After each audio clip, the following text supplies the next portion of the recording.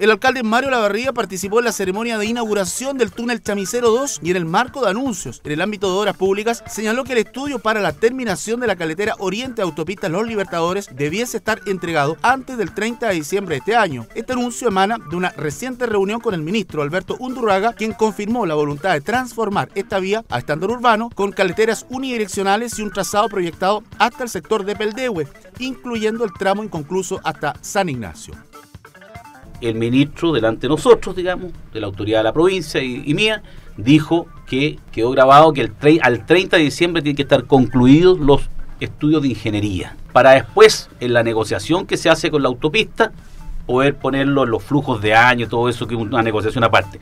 Pero estos estudios, el mismo lo digo, son con plata del Ministerio de Obras Públicas, por lo tanto no tienen que pasar por un sistema distinto y es más rápido.